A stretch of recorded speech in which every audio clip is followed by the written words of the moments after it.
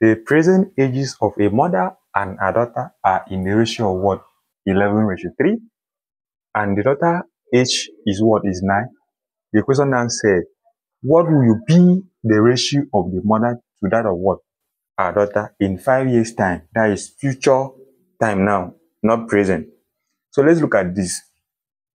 From this question, means that let we can you can say let the mother age, mother, mother age be what?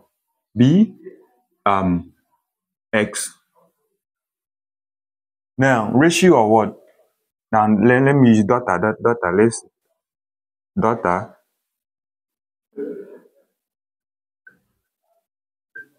be uh, y and y was given to be um 9. Daughter age is given to be 9 here.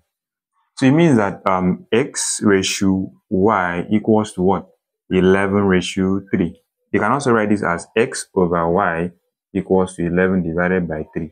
From here, we can find what the mother's age, since we know the uh, daughter's age. So we are going to have that x divided by 9 equals to 11 divided by,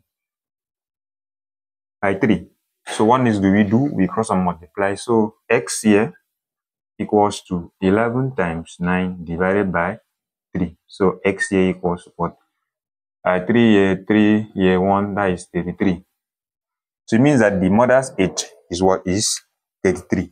Then in future time, future time, time to come, in five years to come, we don't know. So what we are, what are we going to do?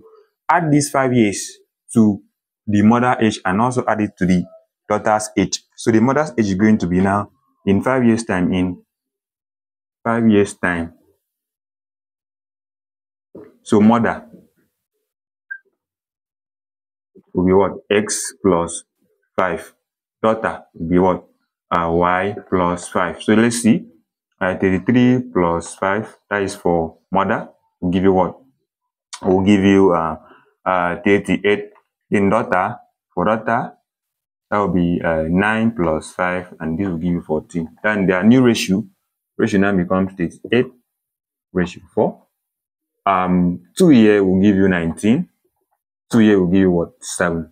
So this, this will be the ratio of their um, ages in two, oh, sorry, in five years time. So this is the answer.